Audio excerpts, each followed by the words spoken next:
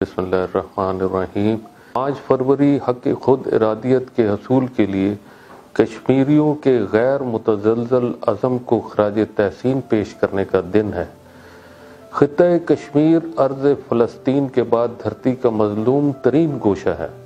اس سرزمین پر بھارت نے بھارت کی جو درندہ صفت فوجیں اتنی بڑی تعداد میں نہتے کشمیریوں کی نسل کشی پر معمور ہیں اس کی کوئی مثال دنیا کی تاریخ میں نہیں ملتی۔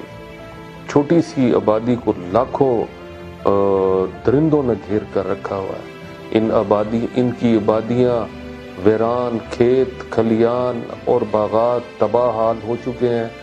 عفت ماں بیٹیوں کی عصمت پامال اور پوری وادی جنت نظیر آج مقتل کی تصویر پیش کر رہی ہے۔ ایک لاکھ کے قریب لوگ جانوں کے نظرانے پیش کر چکے ہیں۔ اس سے کہیں زیادہ زخمی اور معذور ہیں۔ آج چھ مہینے گزر چکے ہیں، لیکن اس کو انہوں نے ایک جیل میں تبدیل کر دیا۔ اور مجھے خدشہ ہے کہ یہ بہت بڑا نقصان نہ ہو جائے۔